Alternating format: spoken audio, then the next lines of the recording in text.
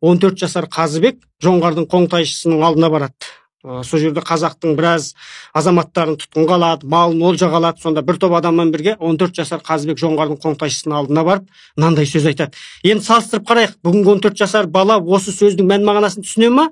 Жоқ. Бұрынғы 14 жастағы баланың ойлау деңгейі жоғары ма? Біз қазақ қырда мал баққан елміз. Ешкімге соқтықпай жай жатқан елміз.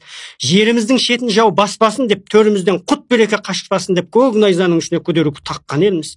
Басымыздан сөз асырмаған елміз. Дұшпанға еш басырмаған елміз. Дәм тұзды ақтай білген елміз достықты сақтай білген елміз. Асқақтаған қан болса сөз ұқпайтын паң болса қан ордасын таптай білген елміз. Атадан ұл туса құл болам деп тумайды. Анадан қыз туса күң болам деп тумайды ұл мен қызды текке кекке қаматып отыра алмайтын елміз сен қалмақта біз қазақ қабысқалы келгенбіз. Танымайтын жат елге танысқалы келгенбіз. Танысуға көнбесең шабысқалы келгенбіз. Сен қабыланда біз арыстан алысқалы келгенбіз. Жаңа үйреткен жас тұлпар жарысқалы келгенбіз. Тұтқыр сары желімбіз шабысқалы келгенбіз. Берсең дұрыстап бітіміңді айт бермесең дірілдемей тұрсатын жеріңді айт дейді. 14 жасар баланың отты жанарымен айтылған өр рухқа толы осы сөзге мысы басылған жоңғардың қоңтайшысы босағада тұрған 14 жасар қазыбекке қарап айтады. Әй бала осыншама сөзді айтқанда сенің орның төр екен ғой дейді төрге шық дейді.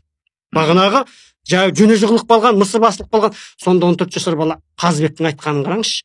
Біздің қазақ дейді жасына қарай отырып жағына қарай сөйлейді. Менің ағаларым төрде отырса дейді. Менің төбеде отырғаным емес пе дейді